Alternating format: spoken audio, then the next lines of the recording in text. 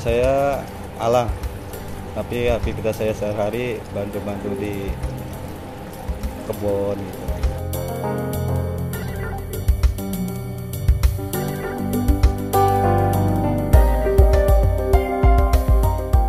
Kalau ini namanya vertikultur, sistem tanam yang nggak perlu memakan tempat karena lebih efisien.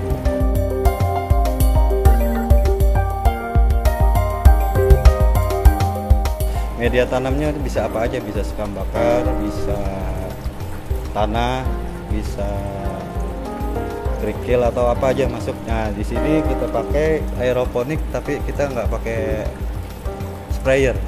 Jadi sistem air jatuh aja gitu. Jadi masuknya ke vertikultur aja ini.